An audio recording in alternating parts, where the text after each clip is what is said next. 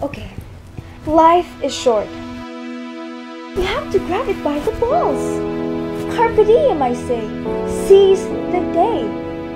Every day is a new day for you to march to the beat of your own drums, to dance to your own rhythm, to sing to your own tune, and to live life as if there's no tomorrow.